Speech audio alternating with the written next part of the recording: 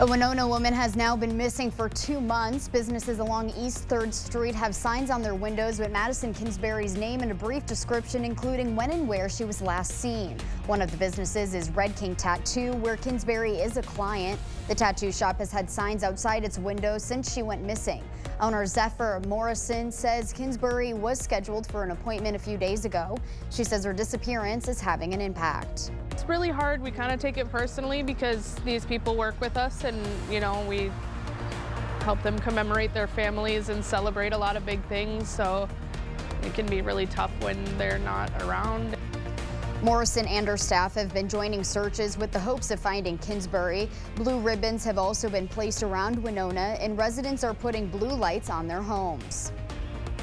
Three people are still unaccounted for at the site of a building collapse in Davenport. New photos and documents show that exterior work on the building began four days before the collapse, and an engineer hired by the building's owner reported that parts of the brick front looked likely to fall at any moment. The son of one of the missing people have been standing by and sleeping outside the fences, believing his father is still within the rubble of the building. It's frustrating, but I don't know. I've been trying my hardest not to think about it so I don't break down and cry. Like I've been trying to like push it to the back of my head and just think about nothing. The American Red Cross opened a shelter for people who were forced out of their apartments. The city says it's offering $6,000 to each displaced family. City authorities are struggling to figure out when and how to demolish the building. A century-old home is getting new life as Habitat for Humanity hands over the keys to its next new homeowner. Andrea Baum and her kids will be moving into this house on 6th Street in La Crosse at the end of the month. Habitat held a dedication ceremony. The house was built in the 1880s and Baum, along with volunteers, put in hundreds of hours of work into the house. For Baum, this home means having a permanent, safe place to stay for her and her family. I think once we move in, um, a part of me just is going to be more complete. There's always been that missing piece of not having a home to go home to or something that we've had in the family. So I'm really excited just to have that piece kind of like fulfilled and kind of go forward in the future for future generations in my home.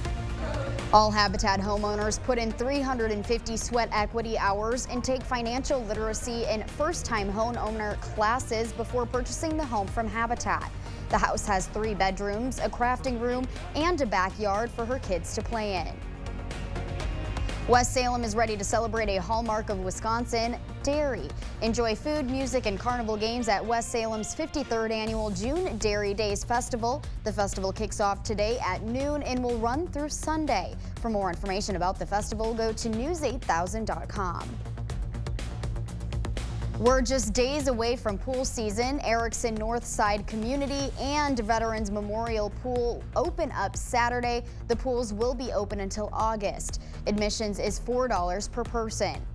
And in Eau Claire, Fairfax Municipal Pool opens on Saturday. The pool is also open through August. Adult and youth admission is $5 a person. Kids two years and under get in free.